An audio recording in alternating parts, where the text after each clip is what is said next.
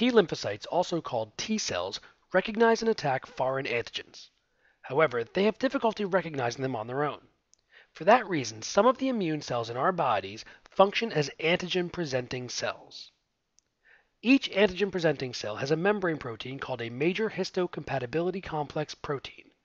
These MHC proteins are responsible for displaying an antigen's epitopes to T cells in the lymph node. When an antigen presenting cell encounters an antigen, it ingests it via endocytosis, uses lysosomes to break it down into fragments, disposes of the residue it doesn't use, and then displays its epitopes in the grooves of the MHC protein. This is called antigen processing. The antigen presenting cell will usually display the antigen's epitopes to the T cells in the nearest lymph node. Cytotoxic and helper T cells patrol the lymph nodes, seemingly waiting to encounter an antigen presenting cell that is displaying an antigen. When they do, they initiate an immune response.